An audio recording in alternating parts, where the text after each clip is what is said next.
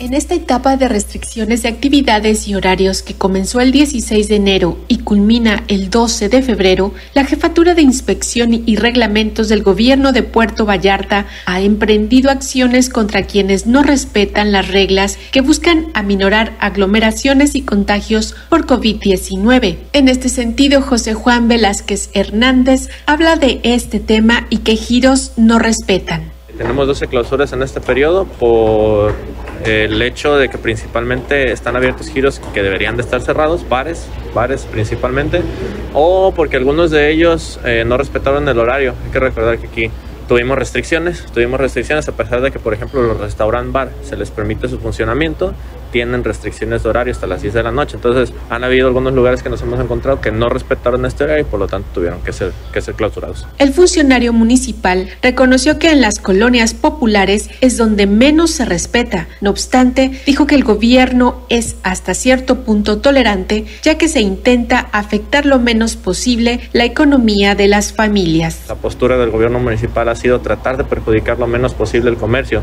La situación, lo hemos dicho en muchas ocasiones, ya es por sí lo suficientemente fuerte en la cuestión económica como para todavía nosotros sancionar un establecimiento e imponerle una clausura que para ellos el poder volver a funcionar significaría el pago de una multa que son cantidades considerables por la cuestión de la pandemia. Entonces hemos procurado informar, ser informativos, a percibir, invitar a que se cumplan las medidas. En las colonias hay comercios como las taquerías que trabajan hasta medianoche, pero se ha procurado apercibir y si reinciden si se procede con las clausuras. Sin José Juan Velázquez reconoció que no se dan abasto para recorrer todo el municipio en un día, por lo que se han programado los recorridos. Para señal informativa desde Puerto Vallarta, Noemí Zamora Reynoso.